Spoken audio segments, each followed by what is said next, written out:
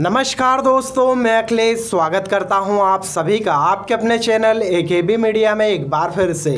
दोस्तों, आज के इस वीडियो में हम बात करेंगे सुपरस्टार अक्षय कुमार की वो पाँच फ़िल्में, जो कि पाकिस्तान में पूरी तरह से बैन कर दी गई थी। और आपको बताएँगे दोस्तों, क्या रीज़न था जिसके कारण पाकिस्तानी सरकार ने इन फ़िल्मों को पाकिस्तान में दिखाने से मना किया था। तो चलिए दोस्तों, शुरुआत करते हैं, देखते रहिएगा पूरा वीडियो। तो दोस्तों, सबसे पहले अगर बात करें नंबर पाँच की तो नंबर नंबर पाँच पर है 2012 में रिलीज़ हुई फ़िल्म खिलाड़ी सात सौ छियासी।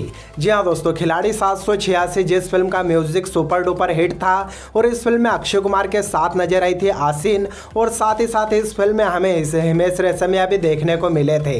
आपको बता दें दोस्तों, खिलाड़ी सात सौ छियासी फ़िल्म को तो इंडिया में काफ़ी ज़्यादा पसंद किया था, लेकिन इस फ़िल्म को पाकिस्तान में पूरी तरह से बैन कर दिया गया था। यानी कि फ़िल्म के ना तो वहाँ पोस्टर लगाने दिए गए, ना तो फ़िल्म के प्रोमो रिलीज़ हुए और ना तो फ़िल्म रिलीज़ हुई। आपको बता दें दोस्तों, खिलाड़ी सात को पाकिस्तान में इसलिए बैन किया गया था क्योंकि फ़िल्म में टाइटल था खिलाड़ी सात और दोस्तों, पाकिस्तानियों का मानना था कि सात जो वर्ड है, उसको ये फ़िल्म में इस्तेमाल नहीं कर सकते, जिसके चलते दोस्तों, इस फ़िल्म को पाकिस्तान में बैन कर दिया गया था। वही दोस्तों, बात करें नंबर चार की तो नंबर चार पर है 2015 में आई स्पाई थ्रिलर फ़िल्म बेबी।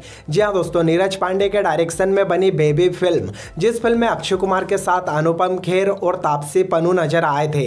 आपको बता दें दोस्तों, इस फ़िल्म को इंडिया में काफ़ी ज़्यादा पसंद किया था और यह फ़िल्म बॉक्स ऑफ़िस पर रही थी ब्लॉकबस्टर लेकिन दोस्तों फ़िल्म की कहानी आधारित थी आतंकवाद पे और इस फ़िल्म में आतंकवादियों का कहीं ना कहीं लिंक पाकिस्तान से दिखाया गया था। जिसके चलते दोस्तों, पाकिस्तानी गवर्नमेंट ने बेबी फ़िल्म को पाकिस्तान में पूरी तरह से बैन कर दिया था और इस फ़िल्म को आज तक भी पाकिस्तान के किसी भी टीवी चैनल तक पे भी नहीं दिखाने दिया जाता है। वही दोस्तों, बात करें नंबर तीन की तो नंबर तीन पर है 2017 में अक्षय कुमार की फ़िल्म, जोले लिलबी टू। जी हाँ दोस्तों, जोले लिलबी टू जिस फ़िल्म में नज़र आए थे अक्षय कुमार के साथ में सौरभ शुक्ला और हुमा कुरैसी। आपको बता दें दोस्तों, फ़िल्म तो वैसे कॉमेडी मूवी थी, लेकिन इस फ़िल्म में हमें एक सोशल मैसेज भी देखने को मिला था। लेकिन दोस्तों, आपको बता दें कि जोले एल टू जैसे एक शानदार फ़िल्म को भी पाकिस्तानी गवर्नमेंट ने बैन कर दिया था। और दोस्तों, फ़िल्म को बैन करने का रीज़न उन्होंने ये बताया था कि फ़िल्म के अंदर कश्मीर की बात क्यों की गई? जी हाँ दोस्तों, फ़िल्म में सिर्फ़ कश्मीर का एक छोटा सा सीन था जिसकी वजह से ही पाकिस्तानी गवर्नमेंट ने इस फ़िल्म को पूरी तरह से बैन कर दिया। वही दोस्तों, बात करें नंबर दो की तो नंबर दो पर है 2018 में आई फ़िल्म पेडमैन जी हाँ दोस्तों, इस फ़िल्म को इतने सारे अवार्ड मिले हैं और इस फ़िल्म के लिए अक्षय कुमार की तारीफ़ पूरी दुनिया में की जाती है, क्योंकि दोस्तों फ़िल्म का जो टॉपिक था, वो काफ़ी सेंसिटिव था और फ़िल्म को काफ़ी अच्छे तरीके से लोगों के दिमाग में डालने की कोशिश की गई थी, क्योंकि दोस्तों, पेट जैसी एक कहानी को लेकर फ़िल्म बनाना हर किसी के बास की बात नहीं होती। लेकिन दोस्तों, यहाँ पे अक्षय कुमार ने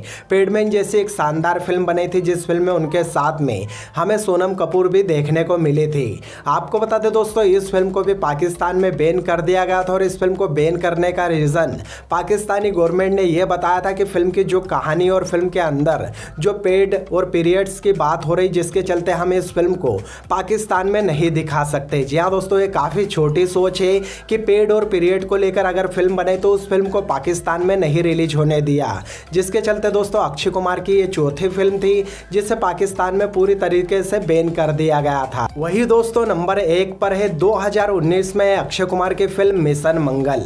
जी हाँ दोस्तों, पिछले साल 15 अगस्त के मौके पर रिलीज़ हुई थी अक्षय कुमार की फ़िल्म मिशन मंगल, जो कि अक्षय कुमार के करियर की एक बड़ी सुपरहिट फ़िल्म मानी जाती है।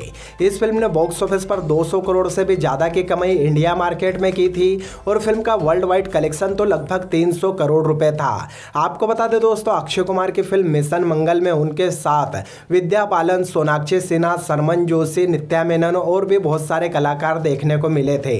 अब आपको बता दूँ दोस्तों, फ़िल्म की कहानी में तो कोई खराबी नहीं थी, जिसकी वजह से इस फ़िल्म को पाकिस्तान गवर्नमेंट बैन करे। लेकिन दोस्तों, आपको बता दें कि जिस समय पर मिशन मंगल फ़िल्म रिलीज़ हुई थी, उसके कुछ दिनों पहले ही हमारे देश की गवर्नमेंट ने कश्मीर से 370 धारा हटा दी थी, जिसके चलते पाकिस्तान बौखला गया था और उन्होंने 370 धारा हटाने की वजह से पाकिस्तान में इंडियन फ़िल्म को दिखाना बंद कर दिया, जिसके चलते दोस्तों अक्षय कुमार की फ़िल्म मिशन मंगल भी पाकिस्तान में नहीं रिलीज़ हो पाई। तो ये थे अक्षय कुमार की वो पाँच फ़िल्में जिन्हें आज तक पाकिस्तान में कभी नहीं दिखाया गया। हालाँकि दोस्तों, अगर आपने अक्षय कुमार की इन पाँचों फ़िल्मों को देखा तो इसमें से आपकी फेवरेट फ़िल्म कौन सी है?